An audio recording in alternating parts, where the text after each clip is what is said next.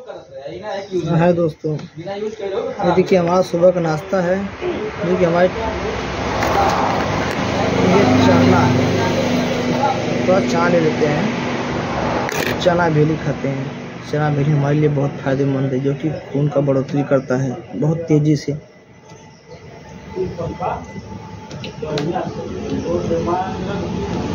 इसके बाद वर्कआउट करेंगे तो फ़ायदेमंद रहेगा।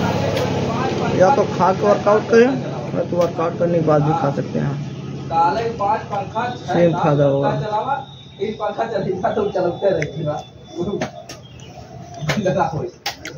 और भी चीज़ें ऐड करते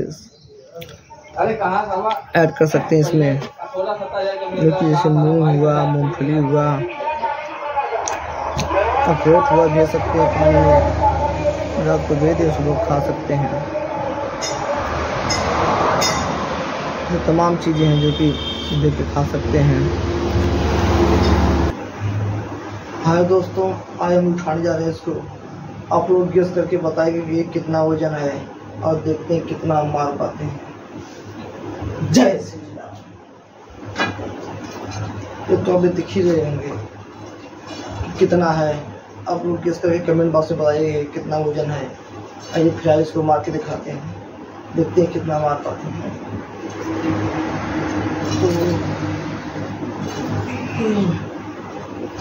चार पाँच छः सात आठ नौ दस। दस टे मारा पाया हाँ, हाथ भर गया है।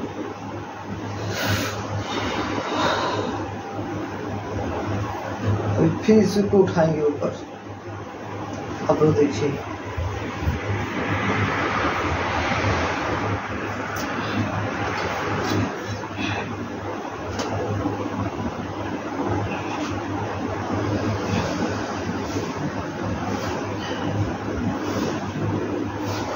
बैग दिखा दें।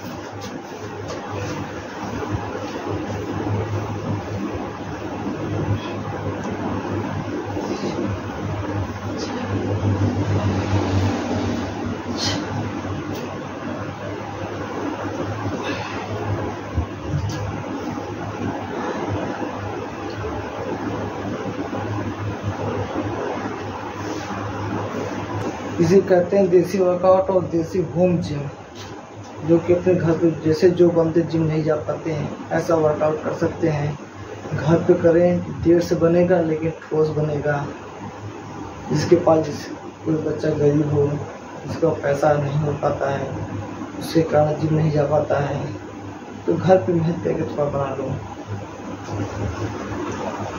चलिए कुछ और करते हैं। ये देख रहे हैं गदा है आइए इसको फांसते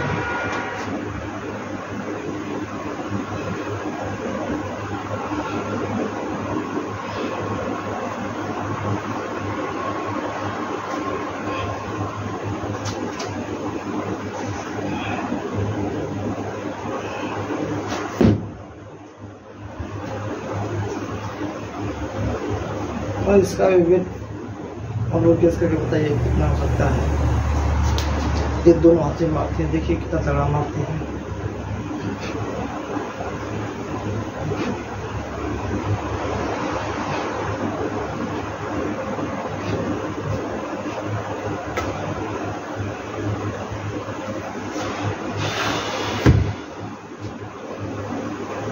हाँ फिर अपने डाइट को सही रखिएगा डाइट सही रखेंगे। वर्कआउट अच्छा होगा इम्यूनिटी मज़बूत होगी पावर बढ़ेगा।